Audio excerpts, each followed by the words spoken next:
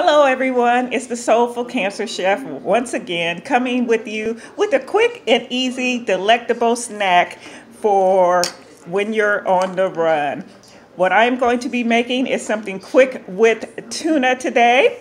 I have my tuna from a can in the water, not the oil. It's a chicken of sea, StarKist, something. I don't know what it is. It's tuna. and I've got some lemon pe pepper seasoning and some yellow mustard.